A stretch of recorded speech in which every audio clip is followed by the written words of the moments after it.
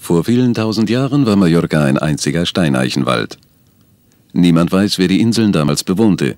Schriftliche Überlieferungen gibt es aus dieser Zeit nicht.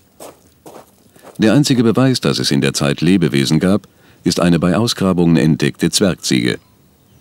Irgendwann einmal begannen die Menschen auf den Inseln Häuser zu bauen. Riesige Steine wurden aufeinander geschichtet, die Archäologen nennen sie Talayots.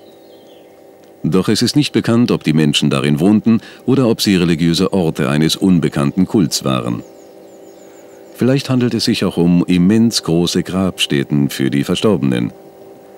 Dass man in den Steinhäusern Tonscherben von Essgeräten fand, beweist keinen eindeutigen Verwendungszweck. Es kann sein, dass sie zum Kochen von Mahlzeiten dienten. Man hat sie jedoch auch den Verstorbenen auf ihren Weg ins Jenseits mitgegeben. Die Geschichte der Talayots kann nicht mit Hieroglyphen entziffert werden, wie die zur gleichen Zeit entstandenen Pyramiden Ägyptens. Die Geschichte ist weitergegangen, doch die Steine sind geblieben.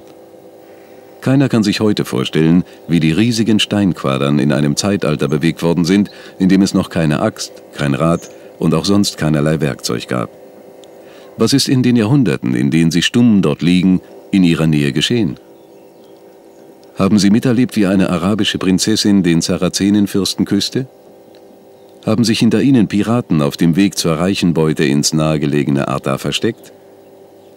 Wenn man die Talayots besichtigt, so werden keine Fragen beantwortet. Es sind geheimnisvolle Orte, an dem sich wohl jeder seine eigenen Fragen stellt.